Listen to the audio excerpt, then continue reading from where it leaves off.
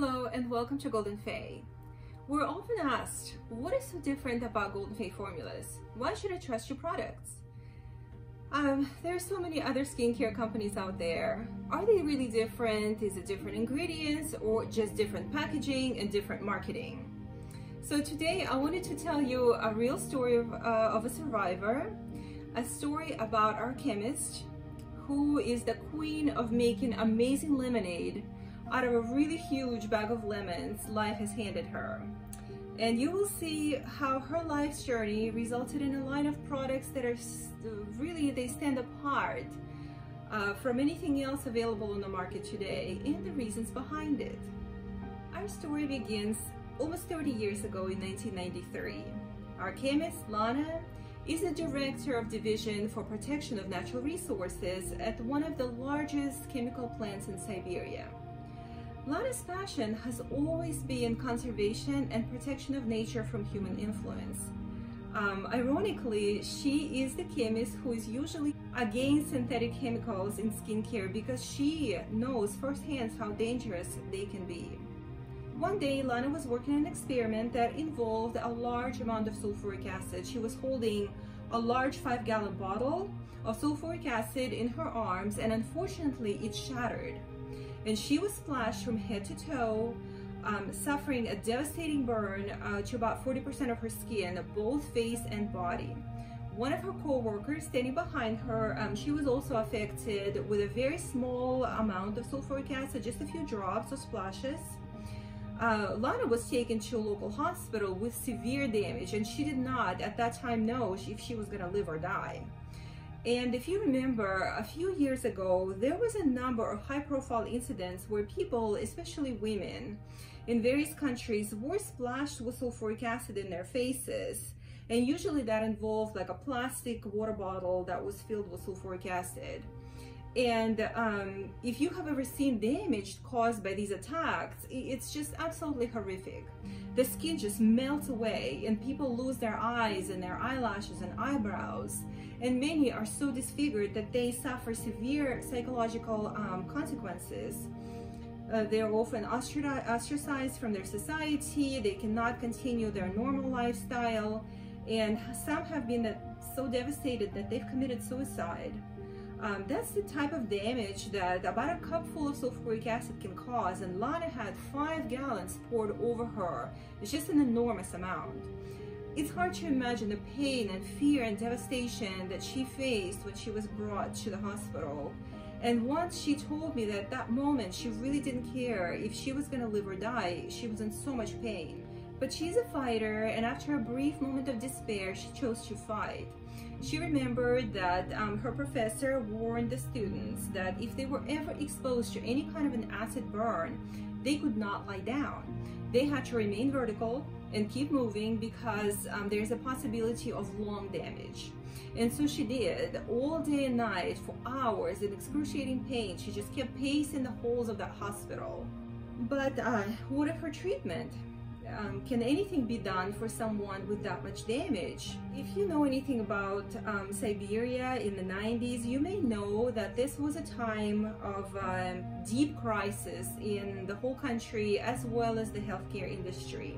The hospitals were facing severe uh, shortage of pretty much everything. There were not enough bandages or gloves. There were no modern medications. And doctors had to tell patients that were coming in for surgery that they would need to provide their own supplies.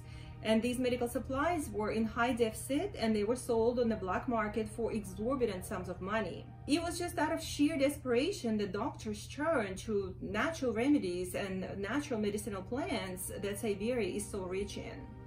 When we hear the word Siberia, many people imagine vast wastes uh, covered in snow. Winters are long, cold, and dark, but believe it or not, during the short months of spring, summer, and fall, Siberia is exactly the opposite. It is just teeming with life. Numerous species of animals and plants, and sometimes they're so rare they cannot be found anywhere else on the planet. Uh, and because of the harsh conditions, the plant world is especially rich in nutrients. And the tradition of medicinal herbs goes back centuries, um, back when shamans of various tribes that um, inhabit Siberia used to treat people's issues using these traditional medicinal recipes. and they are passed down from father to son for generations. Um, the tradition of healing is alive and well in Siberia even today. Uh, many people know and regularly use medicinal plants. Uh, they make them into ointments and tinctures and different teas. Uh, and even today, well into the 21st century, any pharmacy in Siberia with, will carry um, both traditional commercially available medications and a large assortment of medicinal plants. And the interesting part is they're usually displayed on the same shelf per condition and uh, often these things are used as equally important and equally powerful. So given this rich tradition of plant healing, the doctors that uh, treated Lana's sulfuric acid burn were very lucky to have so many traditional medicinals um, at their disposal that Siberia has to offer.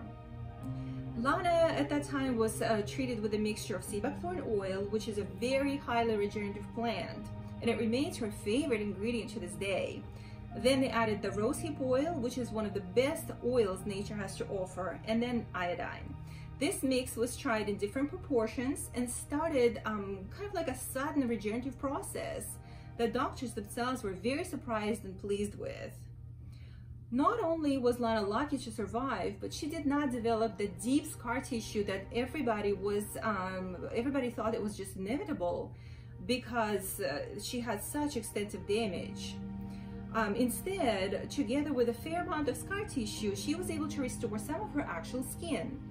And after several months in the hospital, she returned to normal life, went back to work, and um, continued to treat her skin with the this magic potion of sea buckthorn oil and rosehip oil. And the other young lady who was standing behind Lana and um, who had very little damage, she was splashed with just a few drops of sulfuric acid, unfortunately did not fare so well.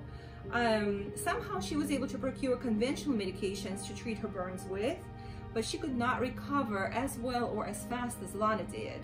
She spent a month longer in the hospital, and then she was afflicted with this deep scar tissue that grew all the way to her bone, and eventually it cut off um, the circulation to her leg um, completely. Her leg began to kind of dry off. This was the first time Lana realized how much more powerful traditional medicines can be compared to anything humans have created. We simply cannot compete with Mother Nature's creativity, at least not in skincare.